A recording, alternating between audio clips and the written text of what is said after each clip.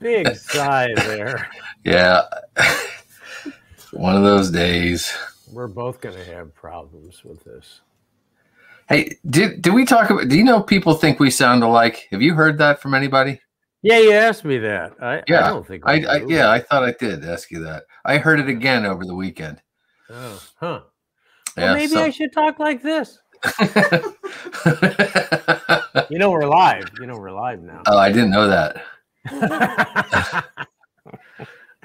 so, welcome everyone. Uh, I want you all to wish a happy anniversary to Tim and Joan and Julia and Chris because we have two anniversaries uh, being celebrated today. Oh, thank you guys so much. Really appreciate it. I can I can hear the applause from here. Yeah, yeah. I, I Thank hear you. 'em. Thank you. I hear him. So, are you gonna are you gonna take Joan out to dinner tonight? Uh, He is now. yeah. Thanks, Are you taking Joan out to a nice expensive dinner? Oh, keeps getting better every minute, doesn't it? Yeah, yeah. Oh, we've got some very special plans. Well, you you you could celebrate your win in the in the tie off today. Well, uh, we'll we'll see. This this is a tough one, and not my idea either. Why, why don't you come clean on who who uh, dreamed this little gem up? Well, it was mine, and you know we haven't we've tied. You and I have both tied steelhead flies before. I mean, I know you've tied egg flies on your channel, and you've tied intruders, but um, we've never tied a classic. Actually, not so classic, but a, a Spey fly, a single hook um, Spey fly, and uh, you know they're they're uh, quite popular and effective for both steelhead and Atlantic salmon, and they're also beautiful.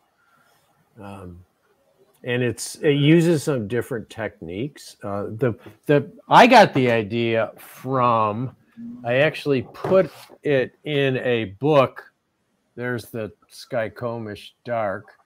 Oh, Yeah. So I've tied it before. Um, I had this. I have. I've had this book out um, for a few weeks. Uh, it was originally published by Rizzoli, and um, Lyons Press picked it up. But it's it's a dozen of the kind of the iconic American flies, like the Lefty Deceiver and the Hair Caddis, and talks a lot about how the flies were developed. You know where Mhm. where they came from, how they were developed, because people I find are interested in that. You know, where where did the Muddler Minnow come from? Who invented it? Where did the woolly bugger come from?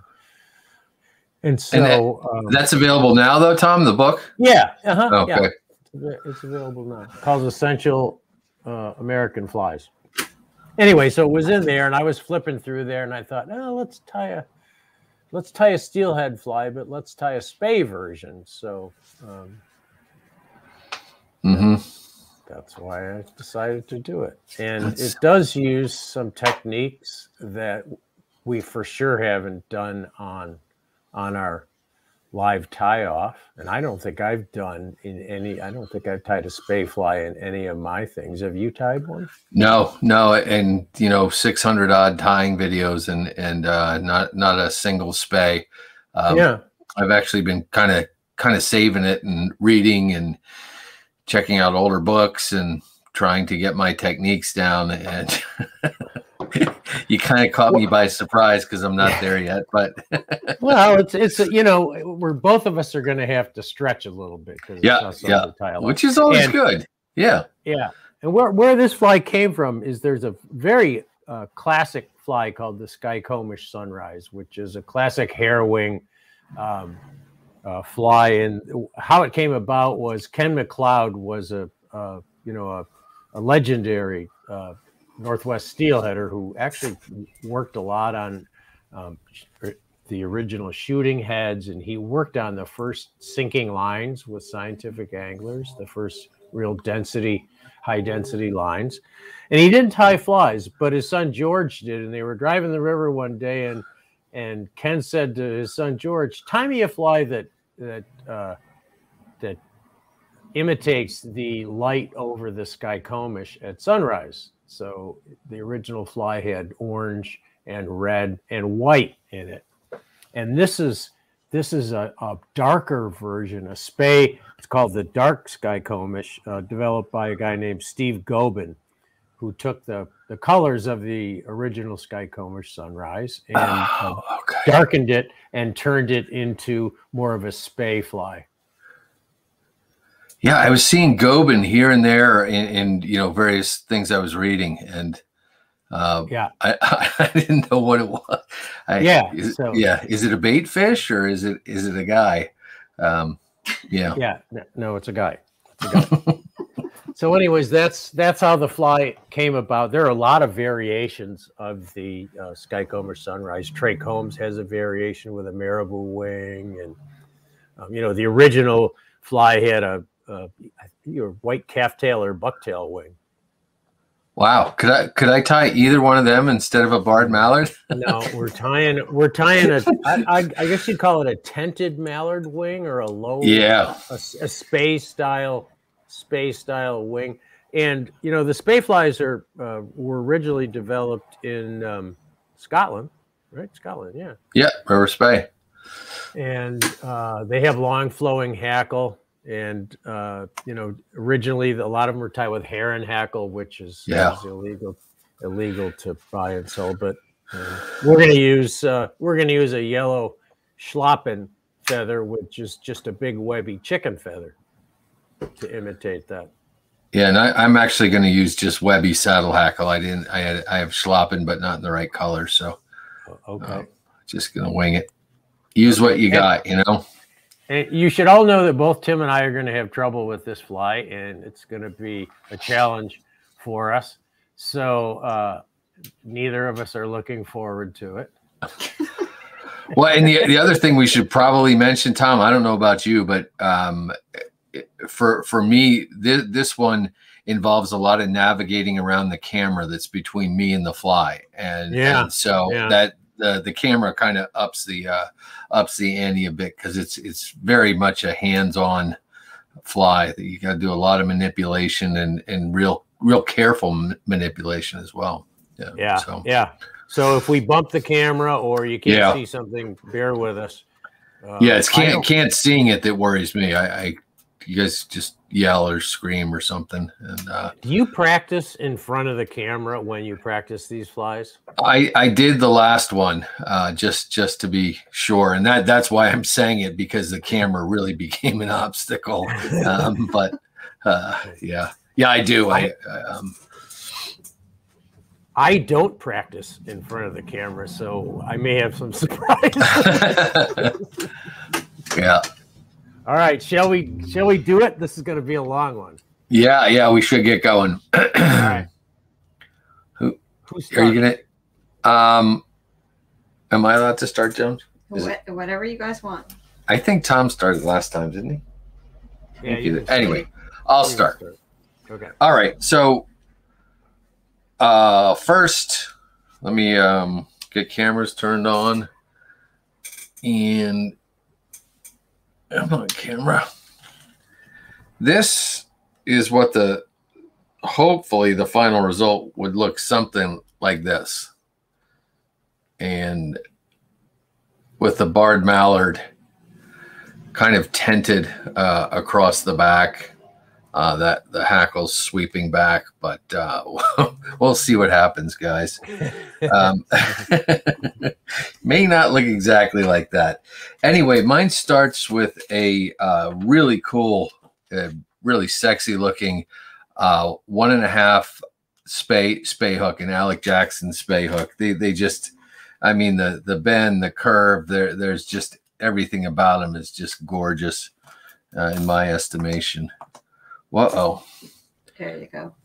Thank you. So I'm going to get the hook really well secured in, in my tying vise. It's a, you know, really long shanked hook, and, you just want to make sure it's locked in there. Uh, kind of a, a weird thing that I do pretty much whenever I'm tying salmon flies. I've just gotten in the habit of it. I use white thread to start, and this is this is Veevus A dot, so fairly thin but strong. And the, the reason is is if their their colors or anything like that, bright colors that go over it, they they tend to hold uh, their color a little better with uh, white underneath. And I'm going to get it started up on that that uh, hook eye return, and just take wraps, take a few wraps rearward, snip that excess tag off. What I'm really doing here is, is closing down the return just get that nice and tight on there and drop off the return. Leave that right there. I'm going to go i'm going to keep on going guys until tom tells me to stop. Uh little tag a tip i guess you call it at the end is medium oval tins, uh, tinsel silver. Just of i'm going to use this later so i'm going to cut a fairly long or yeah cut a fairly long piece off of here and come back to it. Only going to take a few wraps with this. And so I'm going to start it on the, the hook shank right at the, the eye return. We're trying to fill in that space there, kind of push it under. What I found is if you take the material and just bring it to the far side of the hook like this, just kind of hold it there. When you take wraps, it kind of plants it right on the underside of the hook is where I want it to start when I start wrapping. So I just keep on wrapping rearward and I'm going to go pretty. Go ahead, Tom. Sorry. Sorry, it's interesting that uh, salmon fly tyers always uh, tie all their stuff underneath the hook for the body, as opposed to on top. Yeah, I, you know, so you can't see that juncture. I guess. I mean. Yeah, I guess. I'm relatively sure that a salmon isn't going to care, but um, I could be wrong. And I was instructed in the recipe from Mr. Rosenbauer only to take two turns for mm. that tip. You could take three or four because I'm taking four. I'm using fairly oh, fine. Man. Okay. So the other thing I'll, I'll, give, I'll give you permission. Thank you. to deviate from the the recipe. Yeah. Now I'm going to snip this off. I will use this other piece a little later. But just to keep everything evened up, I'm going to run this the the back end all the way back. And again, fill in that return. The other thing that this does is, is I found when I'm uh, particularly Spey casting, the uh, these little wraps back there tend to uh, drift down and so you, and kind of unwind and you want the, those suckers really really well anchored um, yeah. to, to keep them from doing that so I, th- I think the purpose of those is to keep the floss from uh, yeah yeah at the end of the fly. Yeah. Um, so I'm going to stop there if that's okay with you. Let you get started, or okay. should I keep going? All right. Uh, yeah, I'll I'll I'll take it over. All right. Super.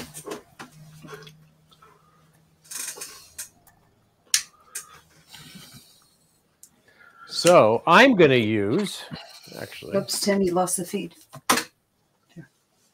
I'm going to use the same hook in a size three, a little bit smaller than Tim's because it's what I had. Um, the Alec Jackson hook is a, again, it's as Tim said, it's a beautiful salmon hook. It's got a beautiful curvature to it. And I'm going to secure it in my vise. How about that?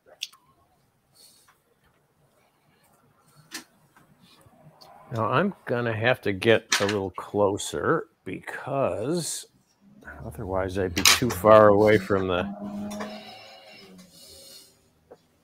otherwise I'd be too far away from the uh, the fly to get get my hands in there. So yeah, the the camera is getting in the way. And I'm going to start the same as Tim to close that return. And by the return, Tim means that piece of wire there because it's a looped eye. So I, I don't know if everybody followed that, but it's it's a, a loop of wire that's not closed. So you just want to close that when you start. And then I am going to grab a long piece of Oval tinsel. Oval tinsel is hard to find. Not many people sell it anymore. You know, it's not used that much. This yeah, and so, and some of it has a, a core that sticks out, which I really don't like. Yeah. I don't know. Yeah, I don't know whether you've noticed that, but. And I'm going to place that underneath. And just like Tim, bind it down, keeping it underneath just by pressing my index finger against there. And then when I get to the hook point, that's my measuring. That's where I start winding that tip. A couple more turns. Right, eh, one more maybe. Okay, so it's even, threads even with the hook. And then I'm going to take my first turn on the bare shank and then come up and push that against the other turn so that the you know the turns are against each other. So I'm going to take three turns and then I'm going to tie this off underneath with two turns only, tight turns. And I'm going to leave that there because I'm going to rib with oval and I don't see the need to, I don't see the need to uh, tie another piece on. So I'm going to just leave it there. I can see right. I got to fix something here. I couldn't see it until I looked at the camera there. Okay. I kind of wound back over on my tip there. All right. Should I do uh Yeah, well, why don't you go ahead, Tom? Okay. So I got my tip in. I got my tip in there. And um, the next thing that I am going to do is I'm going to prepare my hackle. Now, Tim, Tim only um, winds his hackle over the uh, the uh, fur part, the front third of the body. I'm gonna I'm gonna uh, hackle the whole. I'm gonna hackle the whole fly.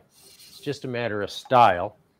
So I'm gonna take my Schlappen feathers, yellow. And I'm going to look for a nice, kind of straight, not bunged up uh, piece of hackle. That looks pretty good there. And I want the stuff to be, you know, a little longer than the hook gate. Let me move this stuff out of the way. And the first thing I'm going to do is I'm going to strip this junk off the bottom, this webby stuff. I'm not going to use it. Get it out of the way. All that web just needs to go away. And then I am going to stroke this hackle back.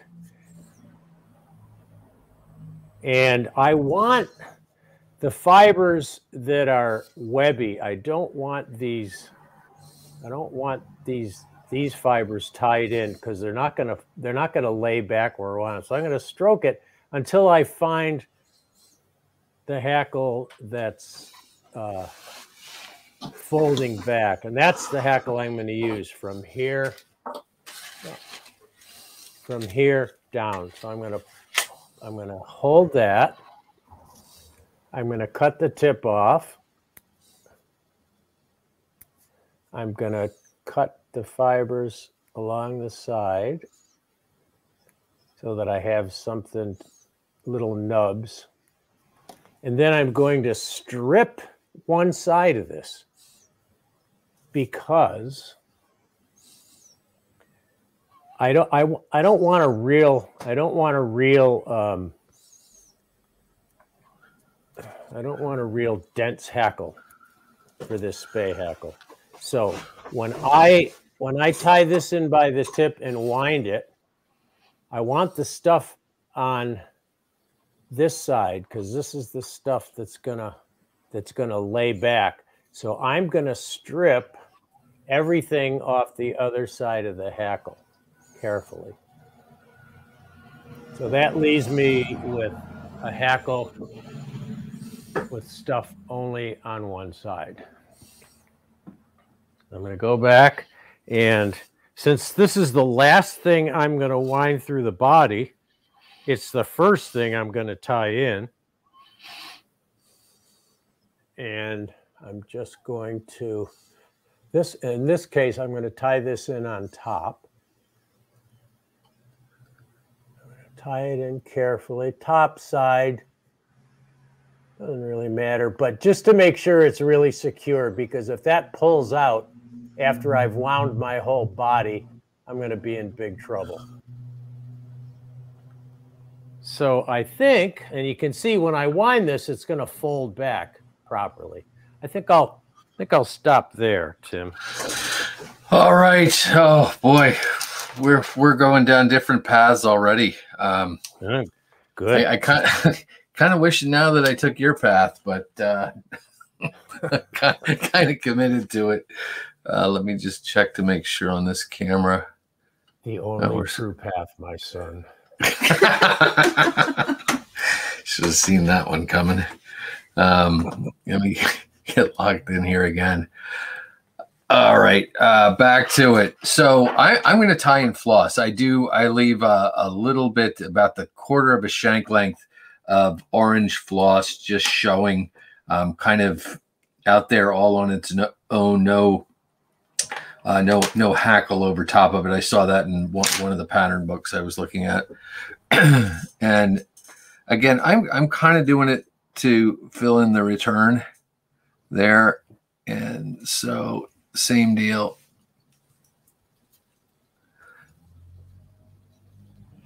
And you know, I, am not really making touching wraps of tying thread. It's it's not really that critical. And um, this is probably the only part of the the body that really really has to be smooth. Is this little bit of uh, floss back here, and I think it's supposed to cover about a quarter. I kind of mark it with my tying thread, about a quarter of the shank. And so just to build up a little bit of bulk, but still keep it smooth, slightly overlapping. And hopefully I won't tear this floss apart. I usually do. Yeah, it's tough it's Yeah. tough. You get get those little strands that tend to. Yeah, and and I just got back from three days fishing on the Salmon River. and My hands are a little little torn up. How was the Salmon River? Uh, it was good. Um, actually, very nice. I I uh, I did not land one this time. Not not I uh, had a lot of uh, ones that were I believe were fouled anyway and broke them off. Lost a nice brown, which was real bummer. That one broke off. Saw a, a few steelhead, not too many, but uh, they're starting. Cool. But it, I mean, it's amazing. I, I think it was in the 70s most of the days or high 60s anyway. And I've been up there this time of year when it's snowing and sleeting and just miserable. Yeah, nasty. Um, so there is um, there's that orange little band back there. Should I keep keep on going that way? I, can, I think I can catch up to you a little bit, maybe. okay. Yeah. Um, or no, you know what? Go ahead, Tom. Um, I I think it'll even out. So why don't you go? Okay. All right. So I am going to next take a piece of uh, mylar tinsel. And mylar tinsel is gold on one side and um, silver on the other. If you see any old, sometimes you'll see older tinsel that was actually silver and gold. I don't know if it was plated or what, but it was, it was actual metal and it would tarnish. It was a pain in the butt to use. Uh, this mylar tinsel is really nice because it's gold on one side and silver on the other, so you only have to buy one spool. Um, and this is a medium, uh, medium tinsel. So I am going to tie this on underneath, and I am going to have my my gold against the hook so that when I start wrapping this, the silver flips over. So I'm going to attach this silver tinsel underneath the body all the way back.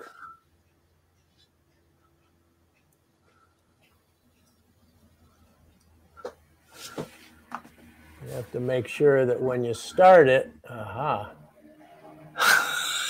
it goes the right way, which it didn't because I twisted it a little bit there. So I'm going to start over. See, I start with the gold side out so it flips over to the silver, but that could just Yeah. be me. Well, maybe I'll try that. Yeah. Maybe I'll try that. I'll try a flagler trick here. Is that gold side out or? Is gold's? I don't know what it is. I okay. see it. All right. It's still flipping over. There we go. Okay, it'll work. I I can make it work. uh, should I tie in my floss now? Yeah, go ahead. All right. So I'm going to come up and I make my floss uh, about a third of the shank. I don't, I don't know if that makes a difference. Again, this is, uh, these are just style points that you can make your fly any way you want. There's not a real standard pattern, I don't think. And this is a three strand floss. You can tell it's pretty old. It's got a wooden spool. And I'm just going to pull a few inches of it. Yeah, what a mess. Yeah, that's the stuff I, I can't even use it, Tom. My my hands just tear it apart. Yeah, and I, I wet it so that the strands stay together. I wet the end of it, anyways. And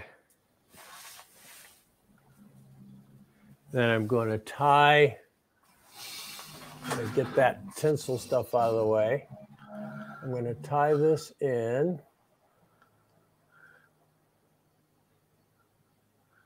I'm going to try to get it underneath if I can, just because it's sort of it's sort of a salmon fly. Although it's a steelhead fly, it's tied like a salmon fly. And then smooth out any, you know, with my tying thread, smooth out any stuff that doesn't look right, and then carefully cover up.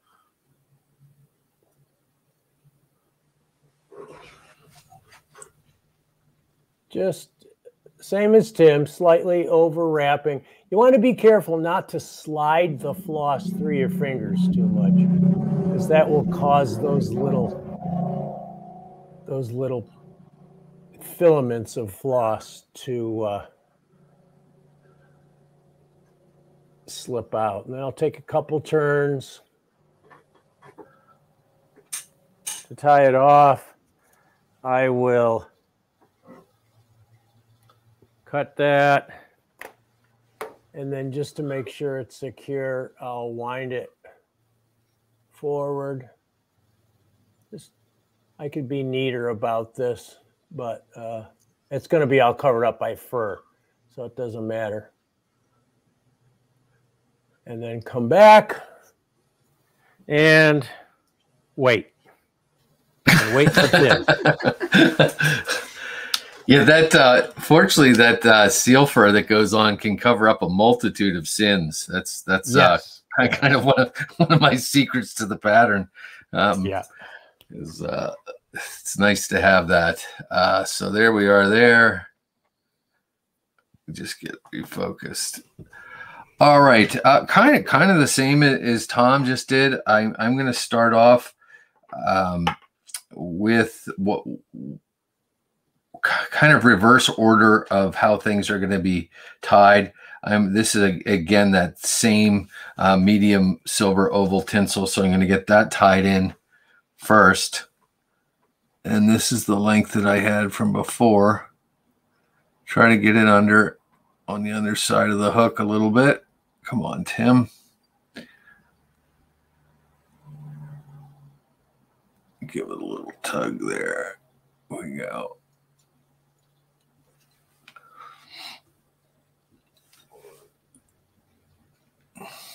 And just wrap that so it stays on the underside of the hook all the way back to the orange. And then I'm going to go forward. I, I you can wrap both the the tinsel and the um, the the mylar, the flat mylar, in at the same time if you want. I just actually found it easier to to do them separate. I'm not yeah, so worried that's, about that's the hard way to try to do them together. Together, yeah, and and uh, I'm not really worried about thread bulk. This this um this 8 thread is is super super thin and, and strong but I am going to take it and just gold side out for me. And again, I'm going to try to keep it sort of under.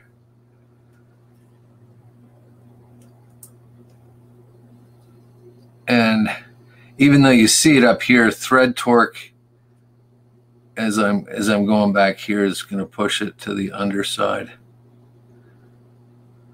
About like that. Better flip it to make sure it's going to be silver. I don't want to do that yet. You're making me nervous, Tom. Sorry. not not that I'm not that I'm not that you're trying to.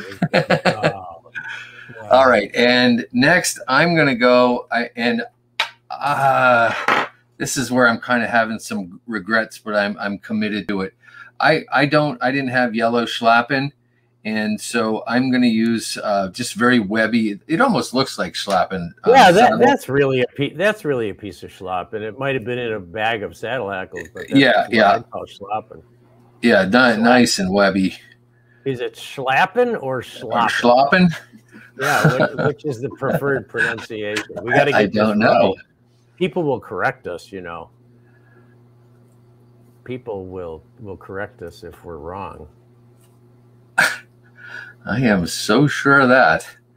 Um, so shiny sides facing me. My tie-in is a little different, and you know I, I got to cover um, you know quite a few turns with this stuff, and I I don't want to be short on it. And like Tom said, about a hook gap and a half for for these fibers, and I do like them a little longer up front, but uh, this this is probably just gonna make a lot of people cringe, but I just snipped that off. I'm not really making a tie-in anchor, but what I found is if if I tie in just like this and wrap right right there, that that produces a really really strong connection. And mm. because with with this one, um, you know, Tom stripped one side. I'm going to actually fold this and b- before I wrap it and and so I want to make sure that that is absolutely in there. I'm, I'm going to wait and uh, fold it just a little bit later. I'm going to leave my tying thread right right about there. And uh, back to you, Mr. Rosenbauer. Oh, it's my turn already. It is. Back to you. Okay. Well, I don't like uh, I don't like dubbing loops, but I think that for this material, we need a dubbing loop. Oh, you sure do. Uh, I tried dubbing it on, and this stuff is wiry. And I just wanted to show people. Um, I want to show people on camera. Um, I have this flies like this originally called for baby seal underfur, and um, anybody that knows that label will know that that company's been out of business for about 45, 50 years. Um, seal fur is is illegal to, just I think, to sell. Um, but anyway, um, this is what used to be used on. Uh, this is seal fur, and you can see it's very glassy. Maybe hard hard to see there, but it's very kind of kind of glassy and flashy.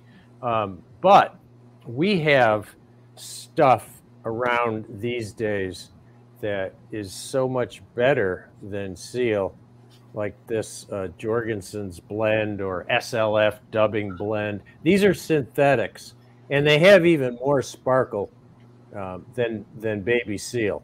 So don't worry if you don't have seal to tie these classic flies because um, the stuff we have around now is actually better. So I'm not going to use not going to use that seal, but just you know, if you've never seen it, that's what seal fur looks like. And Angora goat and uh, a lot of these synthetics uh, do a wonderful job, and they have a really nice sparkle to them. And they come in, you know, great colors too.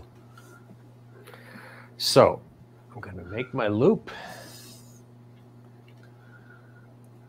And fairly long loop. You can't see it. Maybe I can put the other camera on here. I'm going to attach my dubbing weight, my dubbing spinner to there. Let me put the other camera on there if I can.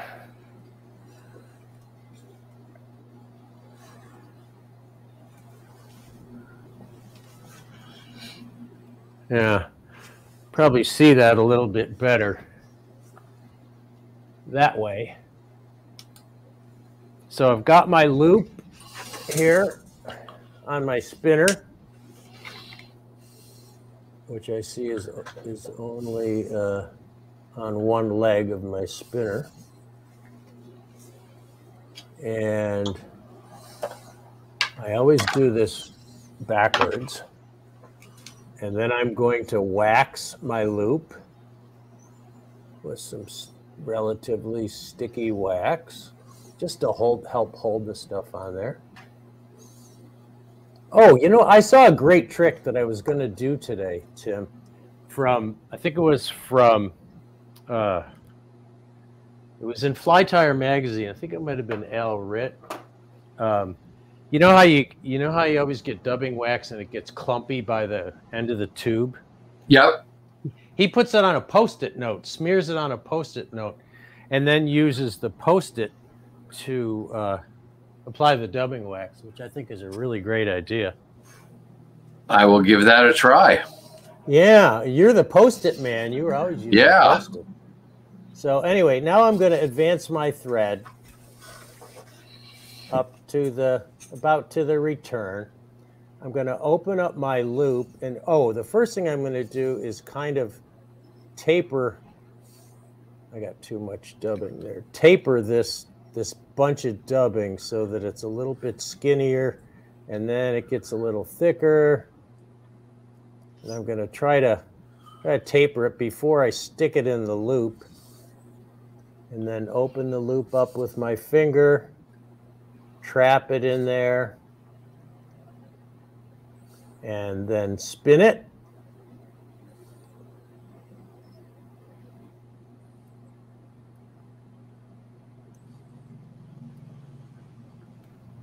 And you'll probably have too much, so you may you may have to you know pull a little bit out of there.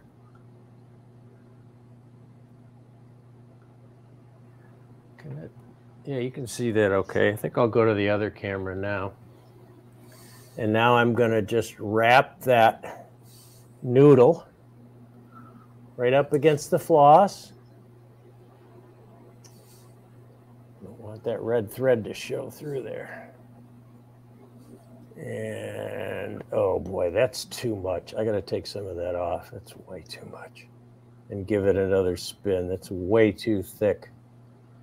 But luckily, when you make a dubbing noodle like this, you can you can respin it, retwist it.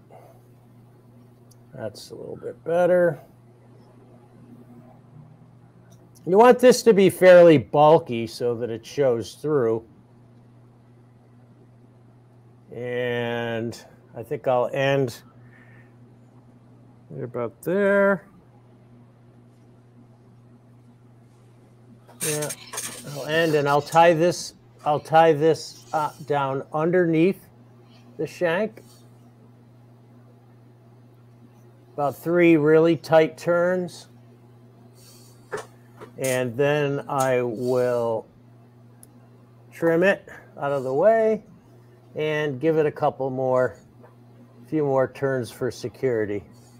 So there is my dubbing loop. Back to you, Tim. I guess I'm up. Um, kind of the same idea for me, guys. Sorta. I, I, uh, I, boy, if I had some of that SLF, I definitely would have used it. Um, I'm going to go with Angora and uh, simply it's a seal substitute. Uh, if you've ever tried uh, dubbing with Angora, it's it's not fun stuff. It, it's very uh, very slippery and uh, just doesn't. I'll show you in a second here because I am going to try try to dub it on my tying thread. I'm zoomed all the way out. Hopefully, you can see this whole procedure. Anyway, I'm going to grab a little sticky dubbing wax. I, I don't do a loop. Um, some of you guys have seen my tying videos, may have seen me do this same technique before. Just it's a little different. I'll I'll admit to that. But yeah, it does not. This stuff just does not want to go on the tying thread at all. Even I and I rarely use dubbing wax um, when I when I'm putting dubbing on it. I'm going to make a very long, uh, fairly thick dubbing noodle and just compress it down a whole lot uh, by spinning it up and just try to fill in some of those open spots. So yeah, this is like, you know, rather than um, split thread or a dubbing loop, I'm I'm really just trying to my best to to make a cohesive noodle on this thread, uh, and this stuff just does not like to cooperate. And if I even touch this, all all that dubbing could conceivably come off. But kind of the touch it, touch it. the really critical thing here is when you take wraps, just make sure that that there's dubbing on up right right up there around the shank. And then what I do is bring my tying thread up, kind of back where I started, wrap backwards, and snip my tying thread there. So it's it's kind of like a, a, a dubbing loop, but sort of not really. And the other important thing here is I'm going to use plunger style hackle pliers. I'm not going to grab down the thread. I'm going to grab up here and I'm going to take a loop through those pliers. So both the thread and the dubbing can't come undone. Uh, dubbing whirl is going to be a little hard for you guys to see, but I'm just going to spin this up with the dubbing whirl. Get out of there, you. And you can see it really, really cords up. And so I'm kind of left with almost just fuzzy thread in the end. Don't want to take it too far. And just going to wrap rearward, just make sure that there's no white you want to zoom in now, Tim? Uh, yeah, that's a good idea. Thank you.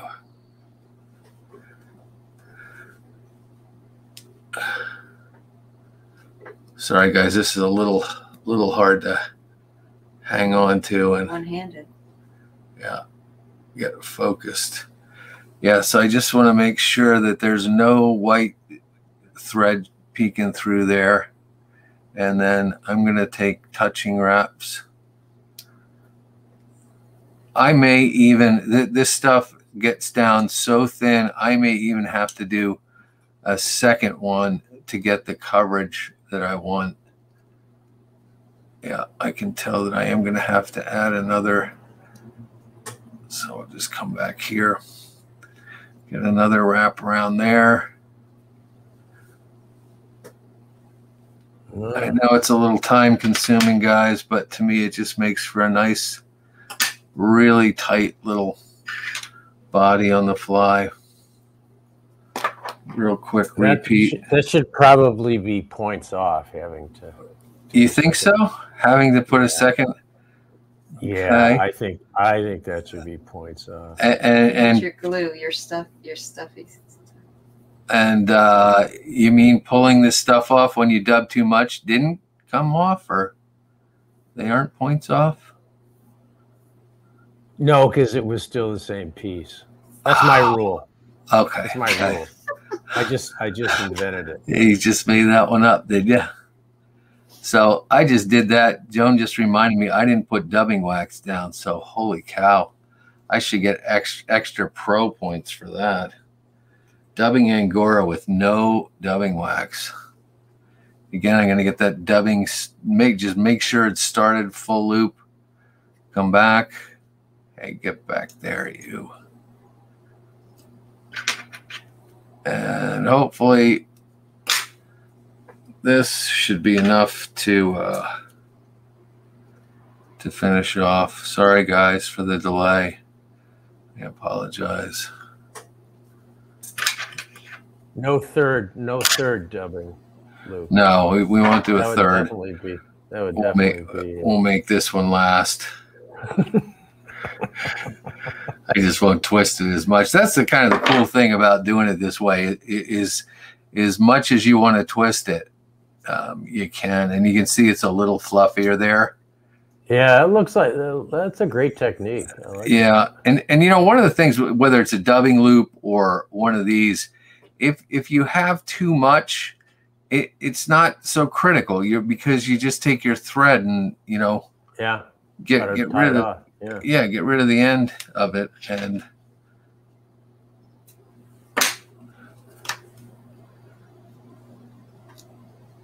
So that's the red, red little fluffy body on mine.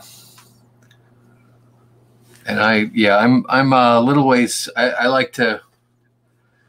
You guys probably remember from tying the Undertaker when we Tom and I tied the Undertakers. I like to keep a, a little ways back from the eye, just a little turtle knot space, just a stylistic thing. But Hmm. Yeah. all you, Tom. Okay. All right. So now we're going to wind lots of stuff. The first thing we're going to wind is the uh, silver tinsel, if it ends up being silver. There. And, you know, traditionally five turns. So I've got to try to space this. One, two, three, four, five, and tie it on, tie it down underneath. If you want to take six or four,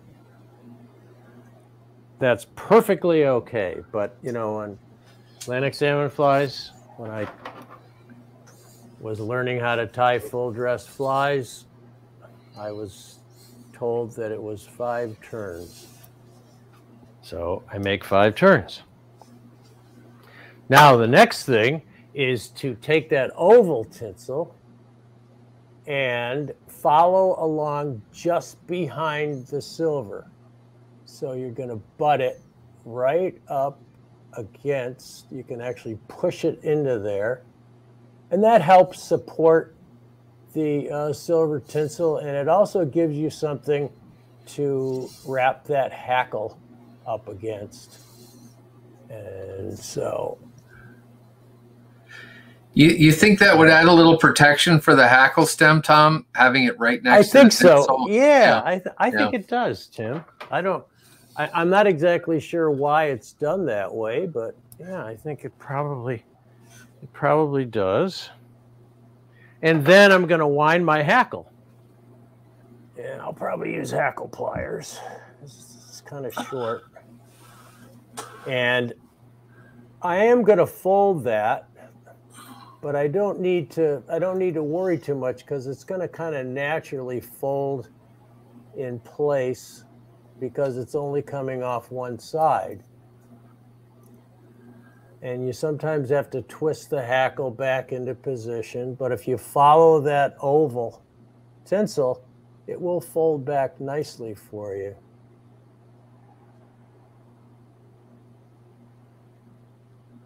And the oval tinsel will for, kind of force it back. So you get that kind of streaming Spey style hackle.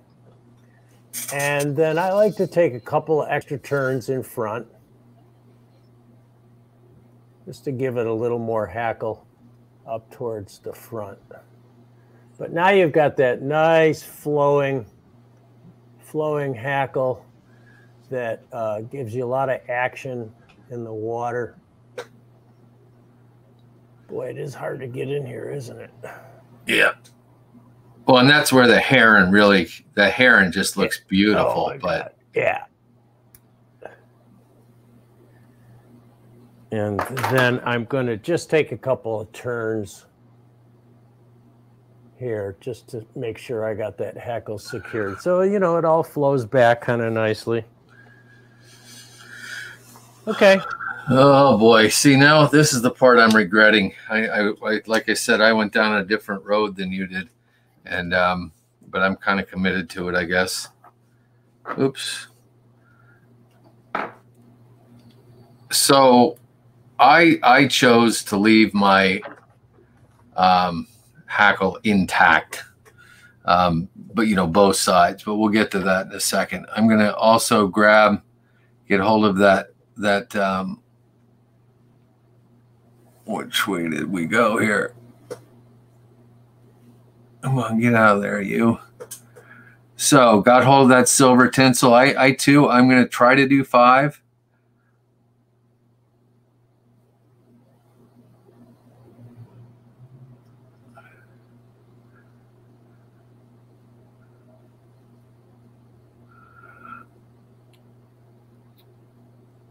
And that looks like five to me. Anchor that on the underside.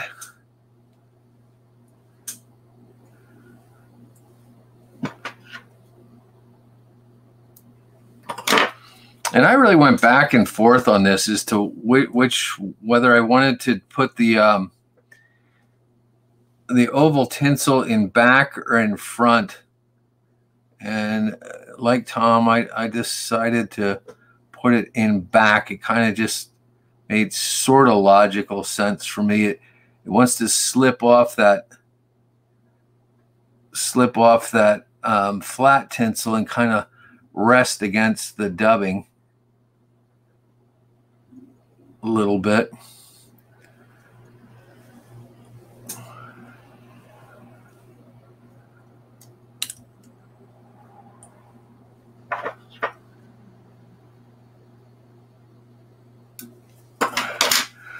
All right, now the not so fun part for me. Um, I need to fold this this hackle back, and one of the ways it just takes takes a little teasing. Um, uh, they're they're guys that that fold their hackle prior to tie-in, and it in I, I don't know how many times I've tried it. It's got to be in the hundreds, and I just simply can't do it. Uh, if it's not tied in, I, I it's just a technique it's always bugged me that I can't do it. I tried it a couple of times yesterday, uh, still never got it. And uh, maybe one of you guys has some secret to doing that. But do you ever try uh, slipping it through a foam block? You know, like no. A, there, you know, you make a slit in like a magic eraser or something like that, and okay, you, you put the hackle in there and you kind of pre-fold it and then you run it through that slit in a you know rubber or foam or whatever okay and uh it kind of folds it? Yeah it doesn't work that well for me but you might try. Yeah I, I, uh, that that hand folding is just it it's been a mystery to me since i i started tying. Yeah. So still still fairly sparse, um, swept back, and uh, but you you know you got to you got to get it folded, and and that can be problematic sometimes. Um, but the oh, my ribs a little off. Um, but it also you get the red, you get this, you know, the two different kinds of silver. So I think that's okay. That's Yeah. And that's I'm gonna stop right there, right at the front edge of that yellow hackle. All righty. You're up. Okay. So Hope Tim gets you over. there's a front hackle on here, and it is from a. Uh, the pattern calls for uh, ringneck pheasant body feathers dyed black, which is what this is, because it's kind of it has those long sweeping fibers. Um, kind of looks like heron. Um, you can also use a webby black hackle if you don't have pheasant body feathers, but they use these pheasant body body feathers a lot on um, on steelhead flies and salmon flies. So I'm just going to strip the fuzz at the bottom and then pull this back, stroke it back, and this I am going to fold. Stroke it back like that, and give myself cut myself a little nib at the ba- at the front of it.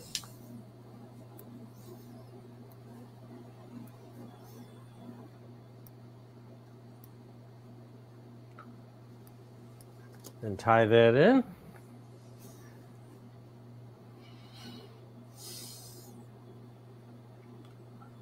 You can tie in at the top. Go all the way back to the body. Make sure you got it in there securely. Trim your uh, trim your tip off.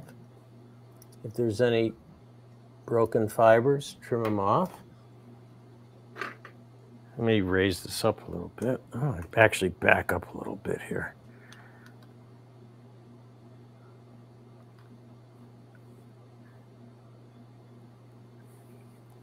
And then I'm going to just fold this hackle back. You can wet it a little bit too.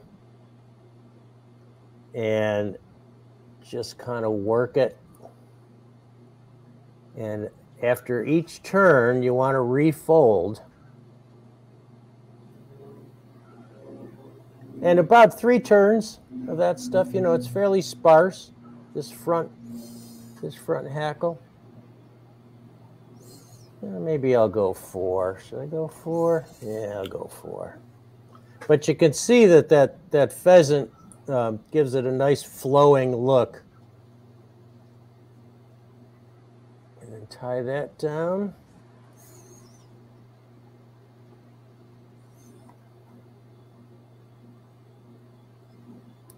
Cut it off. And then to make sure it's secure, just stroke all this stuff back and go back over it.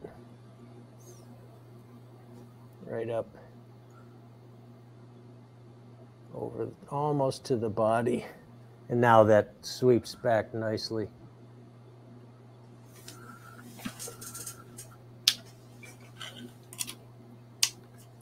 Show it to. There. Okay, Tim.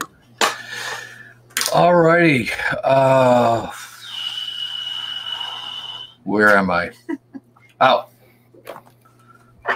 I I did not have any of the the black uh, pheasant rump or yeah, uh, but I do have I, again. This is just it. It's supposed to be saddle hackle, but boy, is it ever webby. And uh, I want these fibers to be just just about the same as those front fibers there. I, I, don't really need too many of them. And I am going to use the same kind of tie-in technique that I did. And you know what? I will do it like that.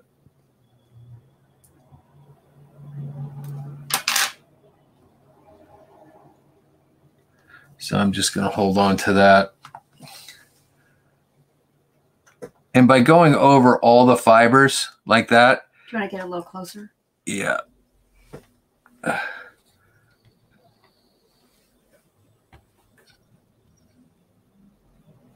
So I mean, I'll show you what I mean again because they're closer. By going all, over all those fibers and the stem, it makes folding it a little more difficult, but it makes for a, a very uh, positive, like it shouldn't pull out. Now watch it pull out. Um, but where did my hackle pliers go? You want to borrow mine? Uh, yeah. Email them to me, would you? Yeah. Um, so I'm going to get hold of the hackle stem up here and just do my best, kind of bend the stem down through my fingers and get that, some of that. I don't, I really don't want too much going around here.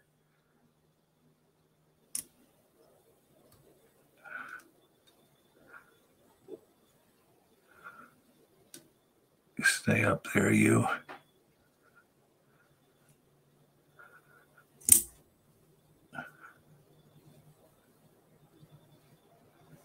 I got a few trapped there, but I think that's okay. You can fix it in post. Fix it in post. Yeah, boy, that's another wrap that's tough around the camera. Holy goodness. Yeah. And then I'm just going to come back and kind of pin those fibers back, clean things up a little bit there. Um, they're still nice and fluffy. There we go. And I am going to just um, change my thread out here, guys. This is get rid of that white thread and switch over to the red uh, that we'll be using for the head. So just a real quick whip finish.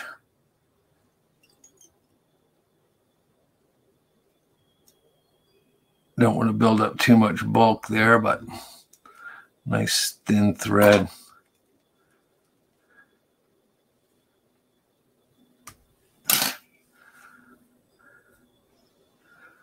And they're looking pretty good. Everything's spread around nice.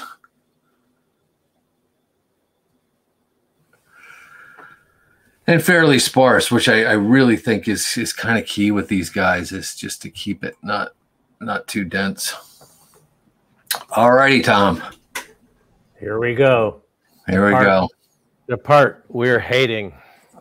Yeah. Okay, so this fly uses, I think I'll make my background white here.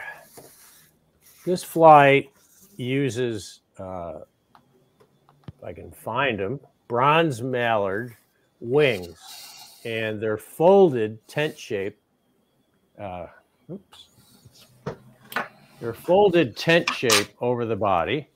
And um, bronze mallard is uh, there's only I don't know four or five feathers on each duck wing. Um, it's a, a drake mallard, a mature drake mallard. There aren't many, uh, so it's it's a difficult material to obtain. But if you're a duck hunter, um, you can you can get bronze mallard, or you can buy it. Uh, it tackle shops do sell it, but it's not not easy to find. And you need a matched right and left, so you can see these have a opposing curvature, and you know they're about the same size. Really tough to get them exactly matched, but you need rights and lefts, and you need to um, need to get rid of any fibers, uh, fuzzy fibers along the bottom.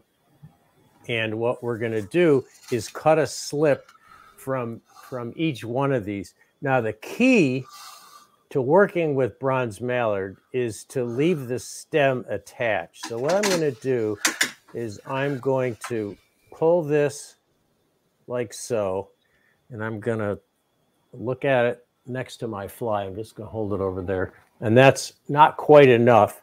So I'm going to I'm going to reattach that by stroking it. The feathers have a little zipper, little zipper, and you could you could probably use a caliper or something to exactly measure these, but um, That's about right. So what what I'm going to do, that's the wing width I want. I'm going to come in and snip the stem right there. And I'll get rid of the stuff on the other side and cut that shorter.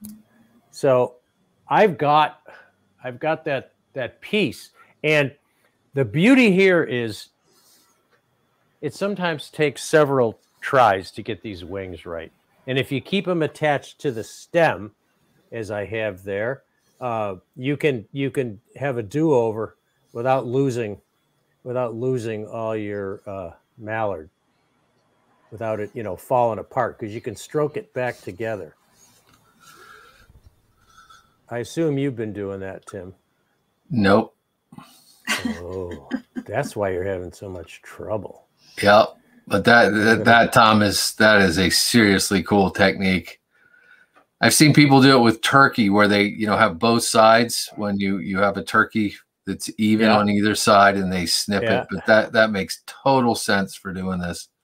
Yeah, so I'm gonna I'm gonna keep adding some fibers on there until I get them matched better.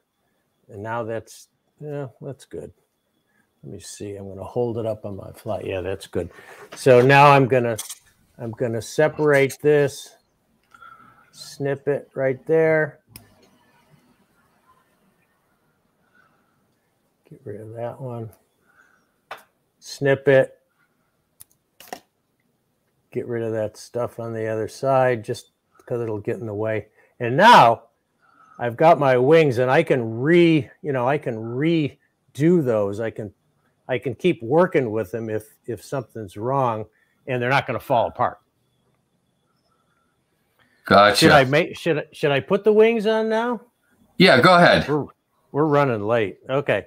So you you want the uh you want the the wing to slope down like so. So this is going to be your far wing, okay? So that it slopes down along the body. So this is tricky and there are a number of ways to do this. And the way I've found it easiest is to just lay this kind of on the top and the wing should be about the length of the body and you have to very very carefully bring the thread over on that so that it doesn't fold the wing with a very loose turn and then tweak it down on there a little bit and look at it from the far side and that doesn't look so good so because I kept that attached to the stem, I can try it again.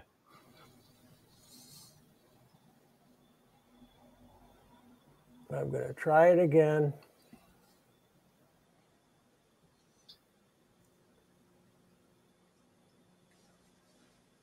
And nope, that's no good. I'm going to try it again. Maybe I'll.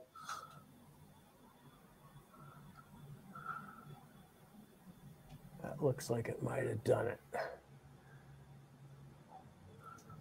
Yeah. That's good enough. That's going to be, that's going to have to be good enough. So I've got the far wing on there. Now I'm going to take my other one. And the trick for this one is you want it to roll into the other wing so that it's all one roof shaped piece. But so you measure it and then you tie it in. You tie it in so it's sticking up like so. And then you just kind of tweak it down into position so that it rolls into that other side.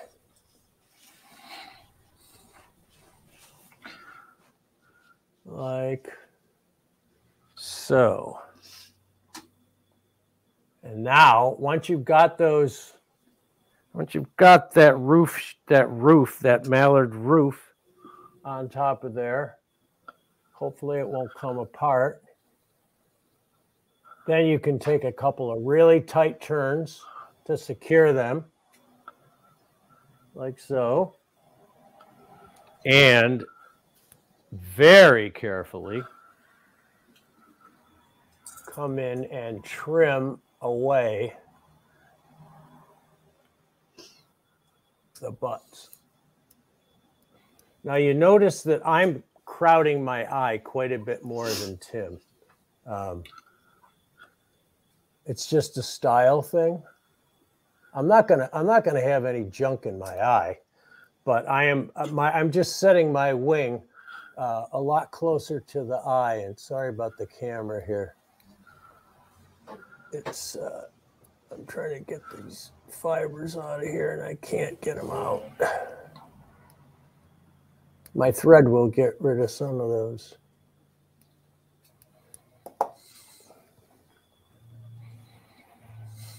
Hmm. I'm going to get another pair of scissors, a real fine pair.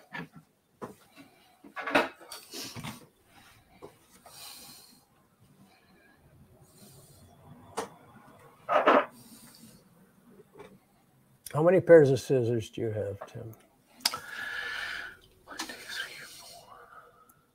Five.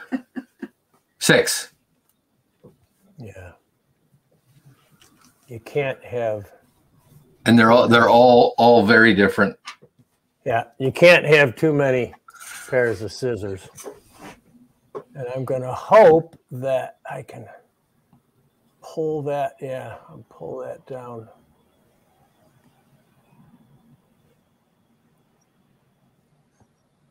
And there the wing is set. Oops. That's not the greatest wing in the world, but it's low and they come together, so I'm happy with it. Should I whip finish and Yes, I, I'm getting a message from the control room. Hang on, Tom. Apparently, we're out of time. Uh, we're going to have to call it a draw. Good try. You're a big chicken. uh, yeah, go ahead, whip finish. I didn't see that little thing until I looked at it in the camera. And we won't, we won't, since we're running late, we won't, uh, we won't put head cement on these, but obviously you want a nice glossy head with, uh, I like UV cure epoxy on this. So do I. I don't like that wing at all. I don't like that wing at all. That's a terrible wing. Oh well. Yeah, just wait and see, Tom. Okay. All right. I'm up. Well, I, I d- d- gosh, I don't even know whether this this is proper or not. Um, uh, for speed's sake, most of the time, what I'm going to do is I, I have uh, real fine uh, tweezers, and I'll go in and just break off. Um,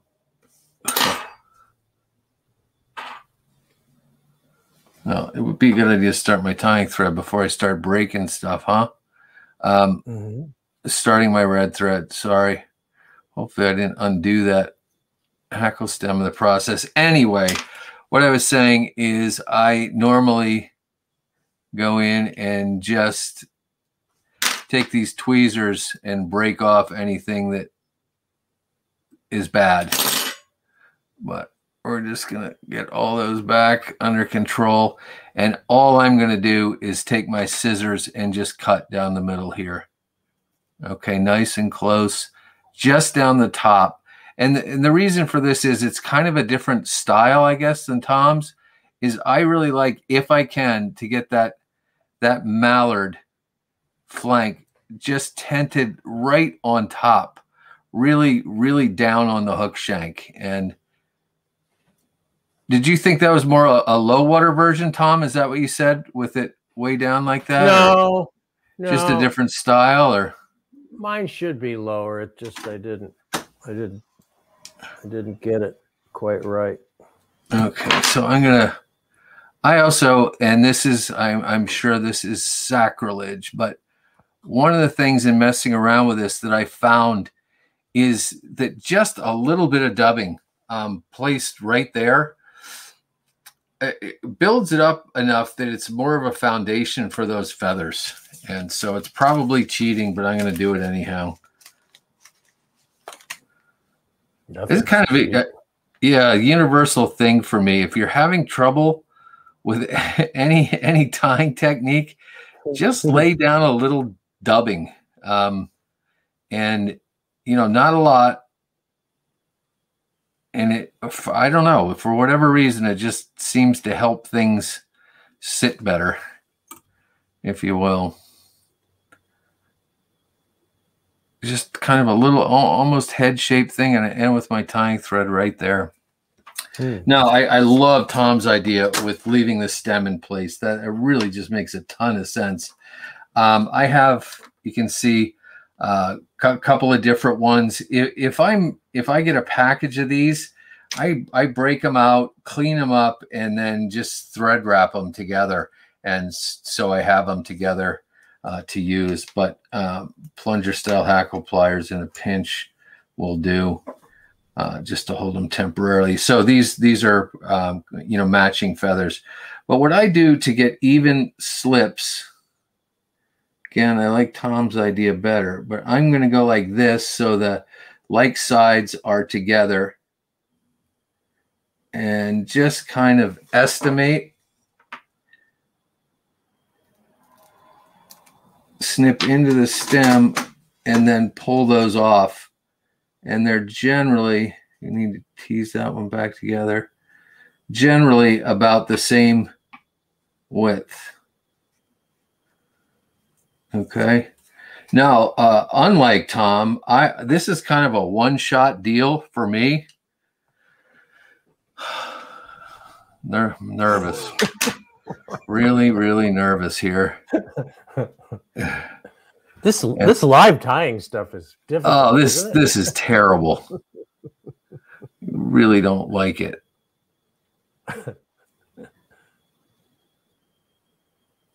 Are you doing the same as me? See, but I I really want it down the sides more. Yeah. Sorry, guys. Um, I'm gonna go, and that's what's preventing it from going down the sides. So I'm gonna snip off there. I know that one's gonna do it on the near side. Again, I'm probably breaking every Spey law in the book right now. Want it to come to the back. Travis says we are too hard on ourselves. Oh, that one's feeling good. pretty good. That looks good. That looks good too. And then, oh, this one kind of got a little raggedy. I'm going to go and same thing, just kind of tent it on that side. Say a little prayer. Oh, good. Yeah, Nice. that one's Yeah, okay. Good. You know, some people um, will tie these in uh, together. Well, they'll just lay one on top of the other and just tie them in as a rule. Yeah, I, I was saying to you earlier, Tom, I've seen Davie McPhail do it on video, and he ties in double, like two layers, and all four of them at the same time. I'm like, you gotta Ugh. be kidding me. Yeah.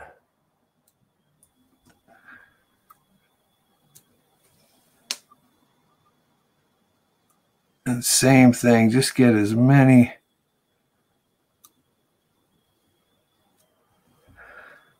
And like Davie McPhail, I am going to go and use some magic wax on me tying thread. Is that your vineyards? This is my vineyards. Super sticky. And most of the time, it allows you to actually go up that ramp.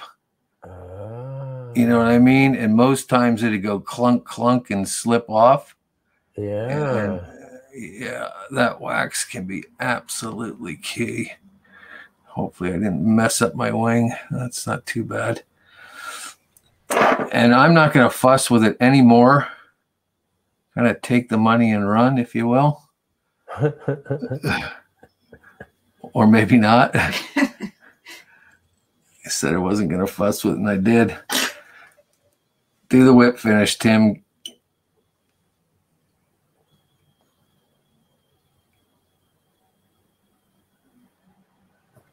Oh my God, this is the longest tying session ever. It is, but th- this is the hardest fly we've done, Tom. I think Yeah. a lot. Yeah. So yeah, the wings just is down more, kind of tented on the top and Yeah. down more on the back. Um, the Tom's just a different style, really, or a different look, I guess you'd say. And I do like to have just a little bit of room there for the for a curl knot or whatever. Nice glossy head, and she's done. Oh, wow! You glad that's over? I am so glad that's over. I I really could care less about the results. I I know you guys don't want to hear that, Okay, but Zoom in, Tim. Um, uh oh. We're splitting screen though, so we can't be too zoomed Yeah. Do the reveal. To the reveal. Uh, hold on one second. I'm going to just bump up exposure just a little bit. A little bit more. Oh, my my wing came apart. There it goes. I'm not going to touch mine. I'm scared to death to even breathe on that thing. Um,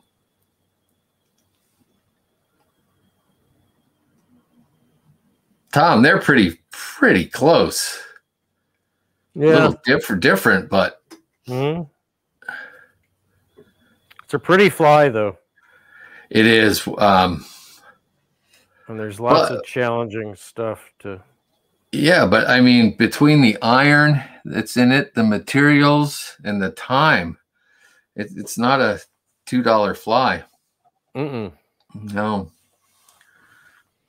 I think it might focus a little better. Come They do yeah. look very similar, don't they? Yeah. If anyone's looking to vote, they can hop over to the Facebook Orvis Fly Fishing page. That's where we have the poll. Um, we'll give it about, about another minute. Good luck. Is it like eleven thirty, Julia? Yeah, happy anniversary, guys.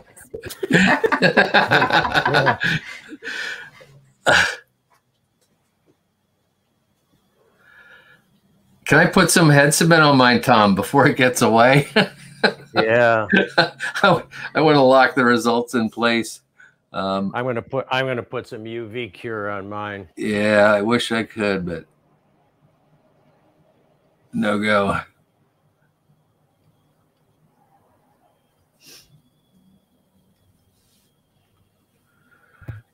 right, Rough, rough. folks, we have a winner.